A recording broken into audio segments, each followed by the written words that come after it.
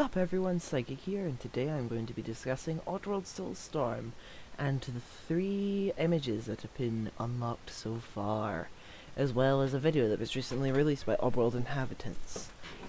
Now we're going to look at the first image here, which is this, which shows the Mudokon slaves being led into Soulstorm Brewery by the looks of it.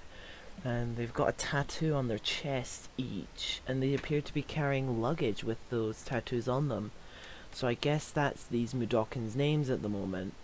I don't know. And if you look in the back, you can see a Glukkon peering over. Which is actually kind of unsettling. now we're moving on to the next image, which is... which appears to be a Mudokon strapped down for experimentation. Now, if you remember Oddworld Abe's Exodus, which is basically what this is being a reimagining of, they have to extract Mudokon tears, so I think that might be what's going on here. As you can see, it's like doing a scan of his brain, his heart rate, and you you can't see it very well on the image, but if you look closely, there's something to the left that says strain. Um, I think that's to strain the Mudokon's emotions to cause it to cry. I don't know though.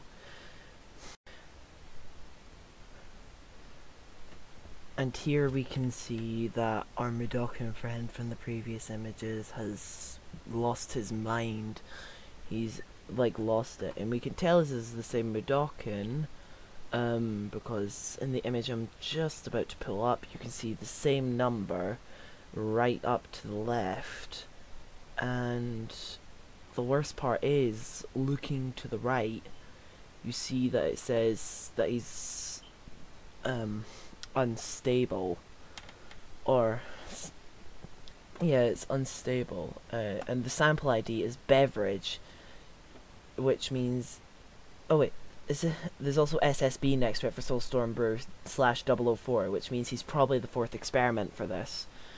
And fucking hell this is awful. Um uh that's so far my opinions are this game looks like it's gonna be fucking dark and but now we're going to move on to the video. Brace yourselves bitches.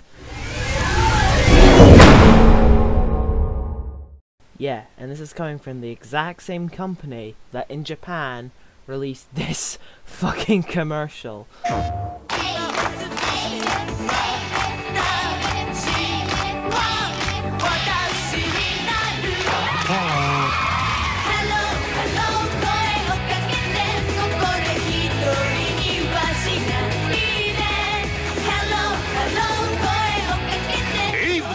は一体何だどうやらプレイステーションのゲームソフトのようですそれがなんで3年 D 組で劣ってるんだわかりません Yeah, the two things seem to clash very much, but if you think about it, it makes so much sense because Oddworld, at its core, is like an out fucking. It's like propaganda against large companies. I'm probably butchering this very fucking heavily, but it's like uh, satirical talk and shit against like massive corporations. Like that's what Rupture Farms and Soulstorm Brewery were.